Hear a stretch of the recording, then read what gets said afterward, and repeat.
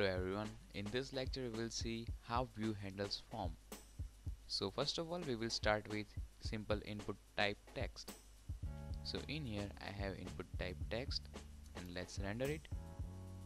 And now if I type anything I want to handle it by Vue. For this we have v-model directive. So I will use v-model and I will use property name as 1 okay? And of course we have to define it here. Input 1 empty string. Now let's run it.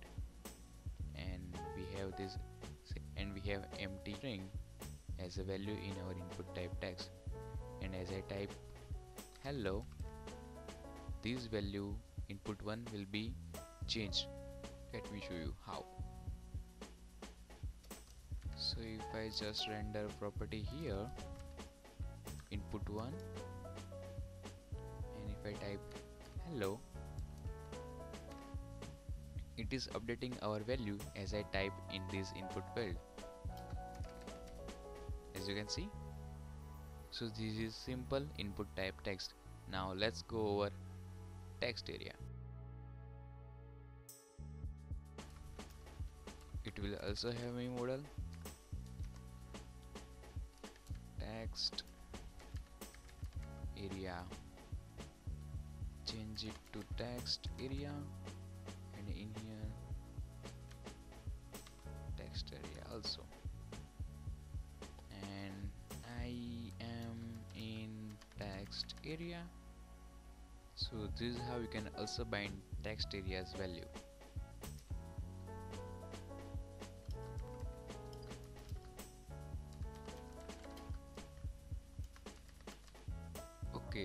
this is in second line but it is not rendering as second line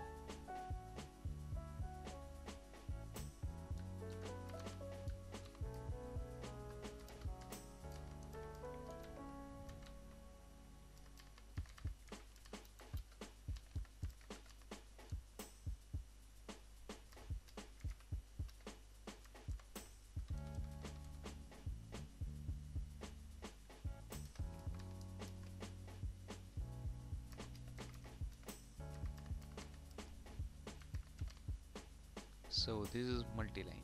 So we have seen input type text and text area. Let's first yeah checkbox is right. So let's go over checkbox input type checkbox let me put here a generic name. So I will put value simple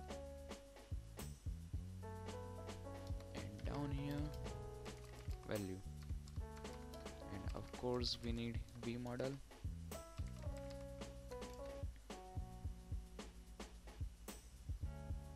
Boom boom boom. So if it is checked then it will show true. And if it unchecked then it will show us false. So it should be false here initially. But because this generic value let me just put it false here so you don't get confused okay? So at initially it gives us false and then it toggles now let's say instead I have multiple values. Input type checkbox and I also assign this to value and this will be our array. Now let's run it. And yeah we are missing that value.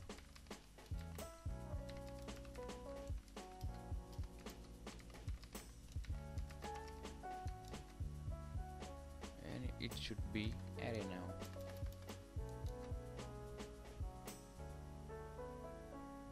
Perfect so when you have multiple checkboxes this will be the case. You will assign same value to v model value value. And this value will be the value of html1 and this is from our property vue.js okay? So don't get confused. Next up let's see how radio works. So input type radio value will be false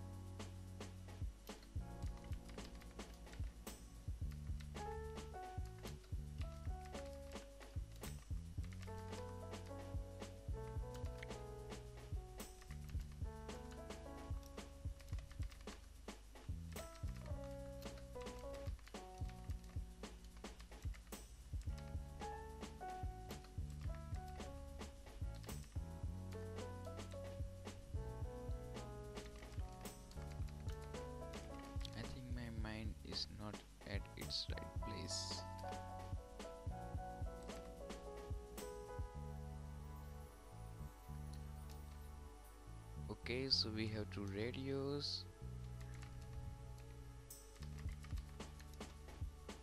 As you can see down here. And if I change it it is giving us female. And on male it is giving us male. Let's put line break here. Okay? It looks clear now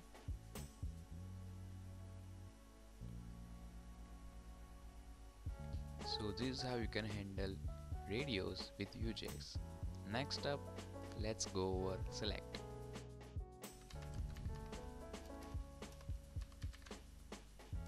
And on select we will use v model on this one not on that option tag okay?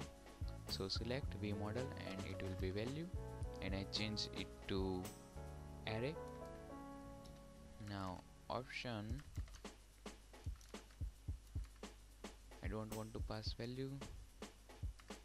Please select then one and two.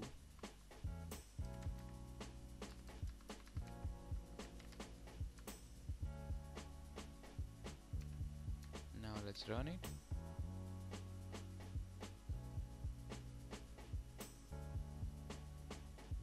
so this is working. Now let's check multiple.